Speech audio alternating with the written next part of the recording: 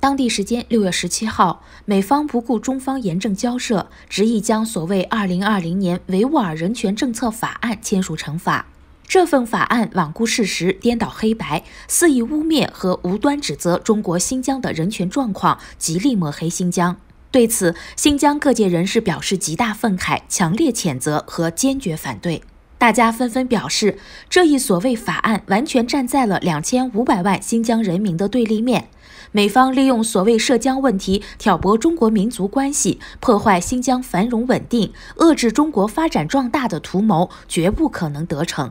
美方将所谓涉疆法案签署成法，粗暴干涉中国内政，诋毁新疆人权状况，我表示强烈谴责，坚决反对。乌鲁木齐市高级中学教师穆亚沙尔·阿布莱提说。作为一名生在新疆、长在新疆、工作在新疆的维吾尔族青年教师，我对此予以强烈的谴责，表示坚决的反对。穆亚沙尔·阿布莱提说，他和家人工作稳定，父母有退休金，享受医保。每逢周末，他们一家人前往大巴扎步行街、南山等地游玩，生活幸福快乐。作为一名维吾尔族青年教师，他将借助自己的主阵地教育并带动学生，坚决同一切破坏民族团结和统一的敌对势力作斗争。我强烈呼吁所有的维吾尔族同胞们觉醒起来，坚决做到认识上不模糊，态度上不暧昧，行动上不动摇。我们要坚持中华民族共同体意识。新疆是中国领土不可分割的一部分，新疆各族人民要像石榴籽一样紧紧团结在一起。我要为实现新疆社会稳定和长治久安的总目标尽一份教师应有的贡献。乌鲁木齐市职业大学应用工程学院学生哈伊沙尔江塔伊尔得知美签署所谓涉疆法案，十分气愤。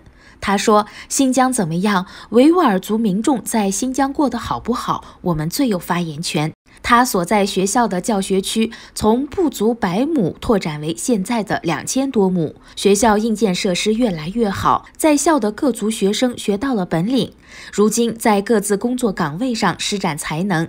这与新疆对教育教学的大力支持和资金投入分不开，与新疆良好的社会环境分不开。